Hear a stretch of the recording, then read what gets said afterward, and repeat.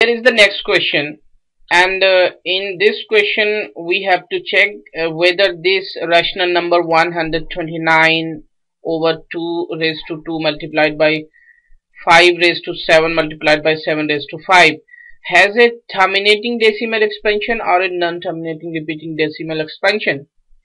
Also uh, write down the decimal expansion of the rational number which has terminating decimal expansion. So let us see how to solve this question. First we have to collect the denominator and we see that the denominator is 2 raised to 2 multiplied by 5 raised to 7 multiplied by 7 raised to 5 we observe that this denominator is not of the form.